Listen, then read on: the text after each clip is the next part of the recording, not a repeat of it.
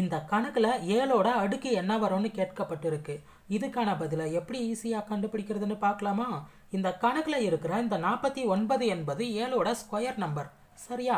அதனால நம்ம ஃபஸ்ட்டு என்ன பண்ண போகிறோம்னா இந்த நாற்பத்தி ஒன்பது இருக்க வேண்டிய இடத்துல ஏழு ஸ்கொயராக எழுதிக்கிறோம்.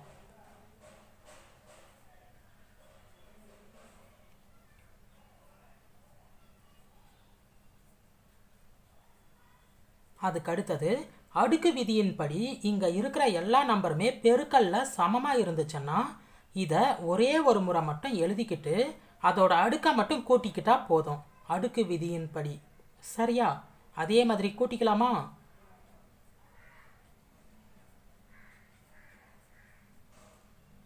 இது எல்லாத்தையும் கூட்ட என்ன வருது?